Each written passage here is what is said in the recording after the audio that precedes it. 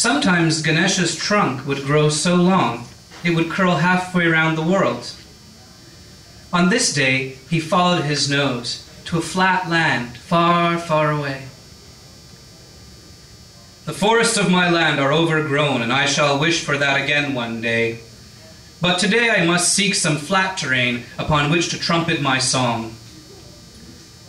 Thus, Ganesha followed his trunk to a flat land far, far away. Not yet blonde as wheat, but vital green, bursting yellow, indigo, magenta, persimmon, ecru, fuchsia, rose, and violet.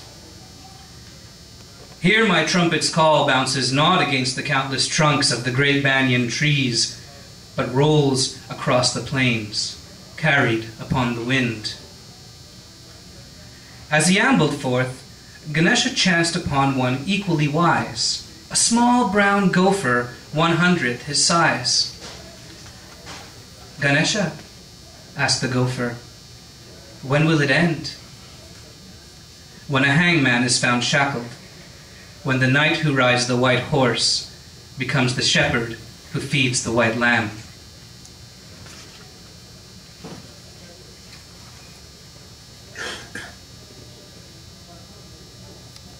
Once after a tempest, the rightful monarch Prospero released his airy spirit Ariel from bondage.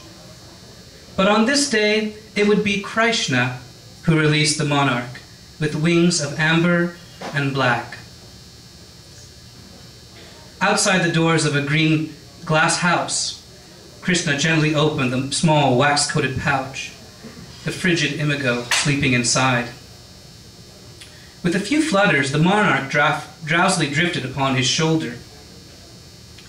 Fly, fly, my son, until you reign these lands, from the great lakes to the Oyamel forests, as they are rightfully yours. May your kin return next spring. Now I release thee.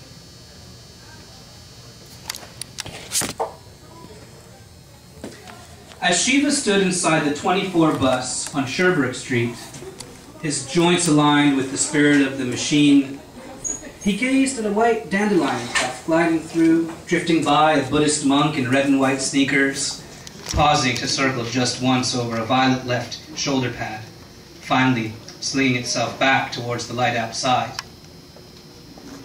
This time it was a butterfly, black with red spots.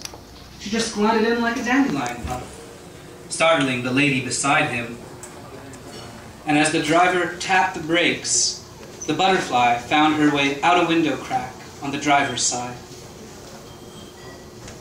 Now a dragonfly, shimmering electric blue, that popped its head in just to have a look and flew out again into the shade of a bush. But as the bus lurched apart, the dragonfly was quick to dart back inside, gliding right by Shiva's mane finally sitting down in the rear. And as Shiva played with the straps of his knapsack, he noticed a wasp upon the front pole, acting droll, fiddling its wing.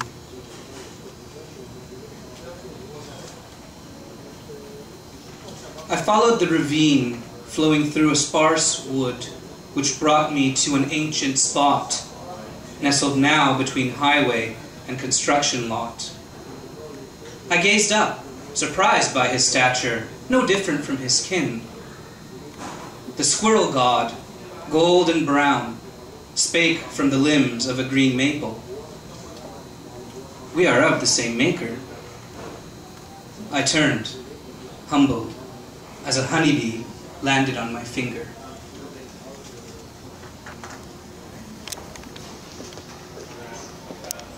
The mallard sits proud upon Lafontaine Pond, shining royal green, flecked with black, its sky blue eyeball blinking back.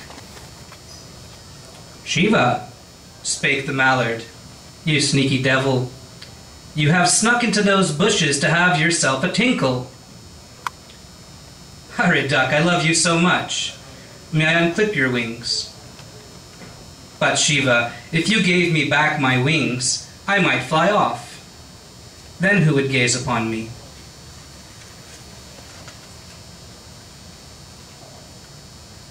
Krishna explored Orford one day. He boarded a canoe with Rana, his eternal love. They slipped into the great pond, flanked by loon and great blue heron. Gently they paddled together. They gazed as the loon would dive, for minutes at a time, submerged. After several such bobbings, the loon later emerged beside the small vessel. Could you keep this place in mind?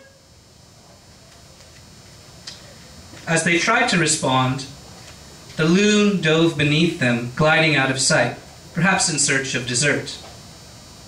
Then a great blue heron landed on the canoe's ridge, talons scraping ever so slightly, setting the starboard slightly lower than the port. Fair travelers, how do you fare? Well, we've been entranced by the loon over there, now blessed by your presence. Tis nothing, my dears. Tis us who are blessed to have two such as you here, gentle folks who value this space. I must leave you now. Enjoy the day. Thus Krishna and Rana continued to paddle for some time before they set the canoe on a beach, leaving it as they dined. They ventured on foot through narrow paths among sugar maple and pine, pausing here and there to enjoy the smells. Finally, they spotted a doe and her two fawns, so close, but with no care.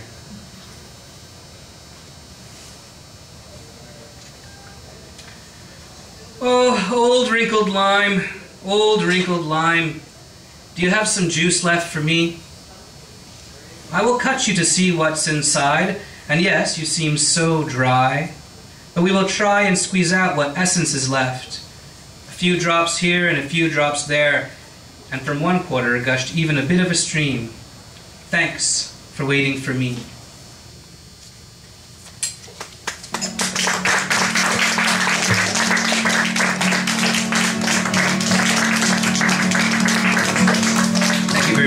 Real privilege to read that from front to back.